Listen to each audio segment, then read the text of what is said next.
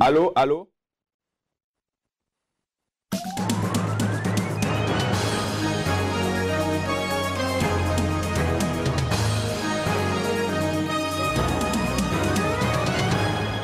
Hervé Gourdel a été assassiné lâchement et cruellement. Ainsi s'exprimait hier le président François Hollande depuis New York, où il assistait à la 69e Assemblée générale des Nations unies.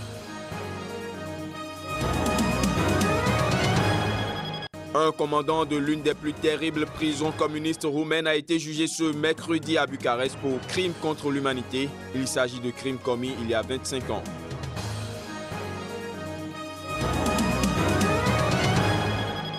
Au Bénin, une polémique s'alimente autour de l'organisation à bonne date des élections. En toile de fond, le piétinement du processus devant aboutir à la correction de la liste électorale informatisée. Bonjour à tous et bienvenue dans cette édition sur SICA. L'otage français Hervé Gourdel a été assassiné lâchement et cruellement. Ainsi s'exprimait ce mercredi le président François Hollande depuis New York, où il assistait à la 69e Assemblée générale des Nations unies. Dans une vidéo postée hier mercredi, le groupe terroriste lié à l'organisation de l'État islamique a annoncé la décapitation de l'otage Hervé Gourdel enlevé dimanche dernier en Algérie. Ceci en représailles à l'engagement de Paris aux côtés de Washington dans des frappes contre les djihadistes en Irak. Je vous propose de revenir ici sur la déclaration du président François Hollande. Notre compatriote Hervé Gourdel a été assassiné par un groupe terroriste. Lâchement, cruellement, honteusement. Hervé Gourdel est mort parce qu'il était français parce que son pays, la France, combat le terrorisme. Hervé Gourdel est mort parce qu'il est le représentant d'un peuple, le nôtre, qui était pris de liberté et qui défend la dignité humaine contre la barbarie. Ma détermination est totale et cette agression ne fait que la renforcer. Nous continuerons à lutter contre le terrorisme partout et notamment contre le groupe qu'on appelle Daesh et qui répand la mort en Irak, en Syrie. La France ne cède pas au terrorisme. La France ne cédera jamais terrorisme, parce que c'est son devoir et bien plus, parce que c'est son honneur. Après plus de 10 jours de grève des pilotes de la compagnie aérienne Air France, l'heure est au bilan. Au plan économique, cette grève a coûté très cher à cette compagnie et a contribué à ruiner une partie des efforts consentis par le groupe pour retrouver le chemin des bénéfices. Reportage. 20 millions d'euros, voilà le montant que coûte au quotidien Air France la grève des pilotes entamée le 15 septembre dernier. Une perte qui devrait peser lourdement sur les résultats financiers du groupe et contrarier par la même occasion le retour à l'équilibre escompté pour la compagnie cette année. Alors qu'elle était au plus bas fin 2011 avec une perte nette de plus de 800 millions d'euros, Air France a su remonter progressivement la pente en lançant un vaste plan de réduction de coûts, ce qui s'est soldé par près de 8000 suppressions de postes. En 2013, les activités de la compagnie ont généré un chiffre d'affaires de 25,5 milliards d'euros. Mais le chemin du retour aux bénéfices est néanmoins encore lent, car sur cette même période, 349 millions d'euros de pertes et une dette nette de 5,35 milliards d'euros ont été enregistrés. C'est pour pallier tous ces problèmes qu'a été créé le projet de développement européen de la filiale Low Cost Transavia projet que dénonce le syndicat des pilotes. Une sortie de crise est cependant vivement souhaitée pour arrêter la saignée et permettre à la compagnie d'amorcer un nouveau décollage dans un contexte concurrentiel féroce. Un commandant de l'une des plus terribles prisons communistes roumaines a été jugé ce mercredi à Bucarest pour crime contre l'humanité. Il s'agit de crimes commis par le régime totalitaire de Bucarest il y a 25 ans. Je vous propose de faire un tour dans l'une des prisons de l'Est du pays pour découvrir à nouveau la terreur qui a caractérisé cette période en Roumanie. Ces murs délabrés ont été les témoins impuissants de terribles souffrances dans les années 50. Ils ont abrité l'un des pénitenciers les plus durs du régime communiste roumain, qui a emprisonné jusqu'en 1989 plus de 600 000 personnes pour raisons politiques.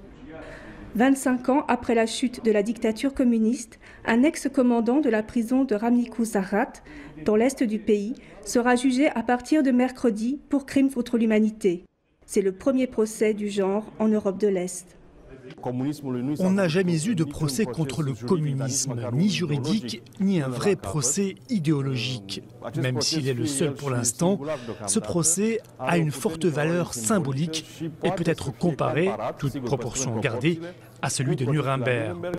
Âgé de 84 ans, Valentin Christea est le dernier survivant de Ramni Zarat. Son souvenir de détention le plus douloureux, outre le manque de nourriture et de chauffage, c'est l'isolement absolu l'interdiction d'adresser la parole à qui que ce soit. Chaque détenu était enfermé seul, privé de contact avec l'extérieur. Les détenus surpris en train de frapper sur le mur pour communiquer en morse avec leurs camarades étaient sévèrement punis.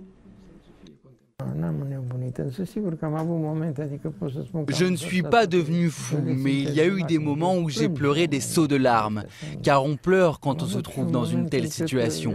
Mais il y a eu aussi un moment où j'ai failli perdre la raison. Cet ancien ingénieur a décidé avec sa femme de ne jamais avoir d'enfants pour ne pas les exposer aux dangers du régime. La justice reproche à Alexandru Vichinescu d'avoir mis en place un véritable système d'extermination alors qu'il dirigeait la prison de Ramniku Sarat entre 1956 et 1963. Lui s'en défend et accuse ses chefs. Issu d'une famille très pauvre, il dit avoir vu dans son recrutement par le régime communiste une chance de sortir de la misère. Si j'ai vraiment commis des erreurs, pourquoi m'aurait-il gardé là-bas durant huit ans On m'avait toujours donné de très bonnes évaluations car je suivais la ligne de la direction. Pourquoi n'interpelle-t-on pas la direction générale des pénitenciers à ce sujet? Une trentaine d'autres tortionnaires présumés sont actuellement dans le collimateur de la justice. Valentine Christea, lui, a pardonné et trouvé la paix. Mais pour nombre de victimes et leurs familles, ces démarches interviennent trop tard.